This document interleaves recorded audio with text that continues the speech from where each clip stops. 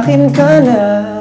Ikaw kasi tong tipong minimithi Yung sabi nilang di ka The new album is um, very exciting for me kasi it's all original. Gusto ko talagang gumawa ng isang all original na album na ako nagsulat lahat. And very special din kasi meron siyang isang Cebuano song, Bisaya song na ginawa ko rin personally. And also a duet with, syempre, my girlfriend Casey na pinagbigyan talaga namin ng oras at pansin tong single na to. So, um, yun, grab a copy of the new album. It's very exciting. It's very uh, iba-iba yung emotions ng album na to. You're gonna be happy and sad at the same time. And of course, uh, support OP.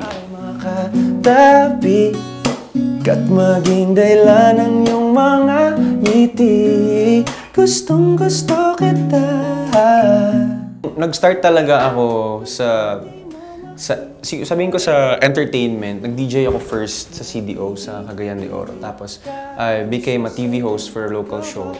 Tapos after nun, nagsusulat ako ng kanta on the side. Pero hindi ko sure na parang feeling kong baduy ng mga kanta ko. Parang gano'n. So, after college, ayoko magsisi na hindi ko man lang matry yung music. So, tinry ko lang. Nag-upload lang ako sa YouTube ng, ng kanta, yung Ikaw at Ako. And thank God, sobrang nagulat ako na maraming may gusto ng song.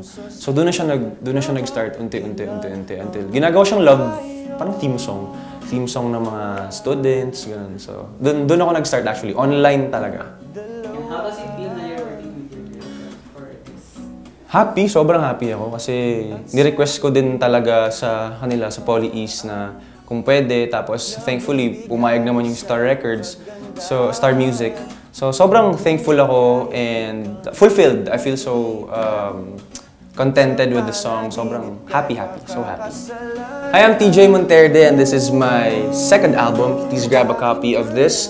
Um, available on all record outlets nationwide. It's all OPM. It has five songs, five originals, personally penned by me. So sana supportahan niyo tong album na to. It's just 150 pesos and I'm sure magugustuhan yung mga laman ng mga songs dito. Um, for for on my social media accounts, please follow me TJ Music Monterde, Facebook, Instagram, and Twitter. Once again, Facebook, Instagram, Twitter, TJ Music Monterde for updates and also follow Poly East Records para sa updates ng shows and kahit saan man mapunta. So, here, grab a copy of the album. Tayong